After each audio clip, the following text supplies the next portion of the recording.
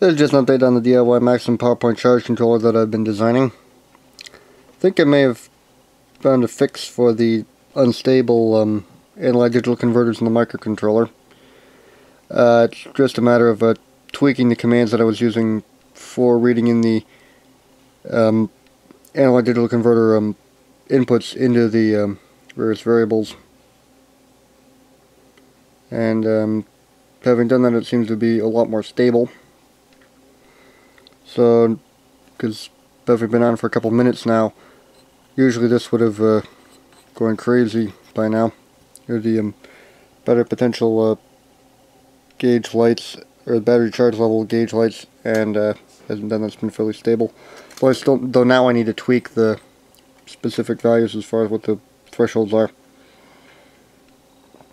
As well as um, just switch around the resistors that I'm using for uh, current limiting for all the various uh, LEDs because the um, this blue one which indicates that the low potential disconnect load is on as well as the white one which has a photovoltaic array or it's um, charging the battery off of a photovoltaic array and the two uh, greeny uh, LEDs are a bit on the bright side although the blue one seems to be the worst offender.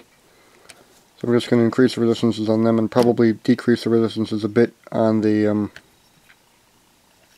red and yellow LEDs just because they seem kind of on the dim side. Um, so, well, it's pretty much just twiddling around with a, uh, decade box and seeing what produces an acceptable brightness and then just putting in um, requisite uh, fixed resistors because I'm not going to put a over half a grand resistor decade box permanently in one of my projects even if I did get this thing for free because I can't afford to get a new one. So yeah. And this is just the code modifications that I made.